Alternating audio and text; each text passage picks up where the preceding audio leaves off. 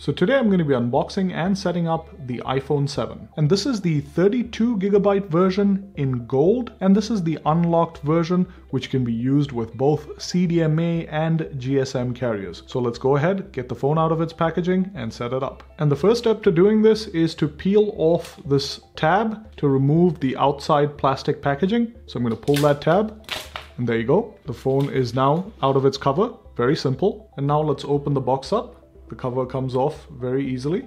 And next is something I haven't seen on an iPhone in several years, which is the packet with the manuals and information guides right on top. It's usually the phone on top, but this time they've put this package right here. And real quickly, before we move on, this package contains a quick start guide, a SIM slot opening tool, some warranty information, and your standard Apple stickers in the back there. And now, very importantly, you have the device itself. And as I mentioned earlier, this is the the 32 gigabyte gold version. Now we'll be setting it up in a moment. So I'm going to put this aside for now. Okay, and now let's see what's under the device. First, you have the all new Apple earbuds. Now these aren't the more expensive wireless earbuds, but these are the wired earbuds with a lightning connector. Now it's important to remember that the iPhone 7 doesn't have a headphone jack anymore, so you will need to connect things like headphones through the lightning connector. And right under that is the lightning to USB cable to charge and connect the device. And last but not least, you have the AC adapter. Oh, and I almost missed something very important. Right behind the packaging for the headphones is this extremely important lightning to 3.5 millimeter adapter. And this is very helpful to help you plug into older headphones with a 3.5 millimeter headphone jack. So it's now time to set the phone up. Now this video is just trying to get the phone out of the box and set it up. I will be doing a full review of this device. So if you aren't already subscribed, please subscribe to stay tuned for that full review. And to start setting it up, you first need to peel off this plastic cover and pull on that tab till that plastic cover comes off. And next, let's power on the device. And to do this, we're going to press down on the power button, which is on the right hand side here. And there you go, the device boots up and it's still booting up. Okay, so it's booted up to the welcome screen. I'm going to hit the home button to get to the next step. Now this is a unlocked phone so it requires that a SIM card be installed before you activate it for the first time. And that's what I'm going to do. I'm going to pop a SIM card in there and then we're going to complete the setup. And in case you bought it from your cell phone carrier, it probably already has the SIM card pre-installed. In my case, I'm going to need to put my old SIM card in here and that's what I'm going to do. Okay, so I've inserted the SIM card, which is in the SIM card slot, which is on the right hand edge here. Okay, and I'm going to power the device back on. And now it asks you to select your language, which I'm going to do. In my case, obviously it's English.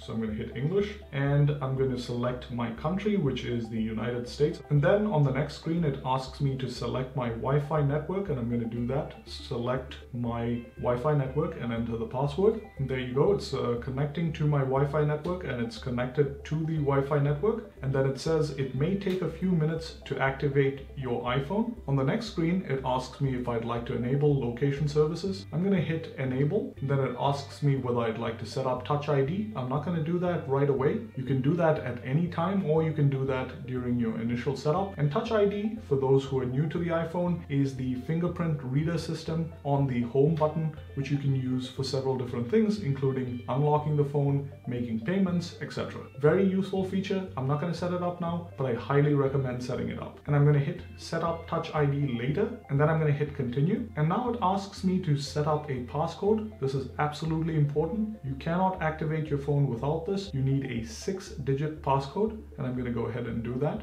And the next screen is extremely important because this helps you to restore data, that is transfer data from either your old iPhone or your old Android phone through either iCloud or an iTunes backup. Now most people who have an older iPhone will probably use the iCloud backup option. Now in case you have a Mac or PC which is set up with iTunes, you can also use the iTunes backup option. And if you're moving from Android, it guides you step by step to transfer this data. Now in my case, I'm not going to do any of this. I'm just going to to set it up as a new iPhone. I'm just going to hit that. And you can do this if you're a first time iPhone user and don't want to transfer any data from your old device. I'm going to hit set up as a new iPhone. Now on the next page, it asks you to sign in with your Apple ID and password. And if you don't already have an Apple ID, it's very simple to set it up. So if you don't have an Apple ID, go ahead and set one up and then sign in. In my case, I already have an Apple ID and I'm going to sign into that. Okay, so I've signed in using my Apple ID and I'm going to now hit agree to the terms and conditions. And now it says that it may take a few minutes to set up your Apple ID with this device. Okay, and on the next page, it asks me if I'd like to start using iCloud Drive. In my case, I'm not going to do that. I'm going to hit turn off iCloud Drive. To touch that and hit continue. And then it says that it's updating the iCloud settings. Now it asks me if I'd like to set up Apple Pay. Now you can do this either now or through Wallet in your settings once you've set up your phone. In my case, I'm just going to hit next and then hit set up later in Wallet. And on the screen that follows, it asks me if I'd like to set up the personal assistant Siri. Now you can do this right now, or again, you can do this in the settings. I'm gonna now hit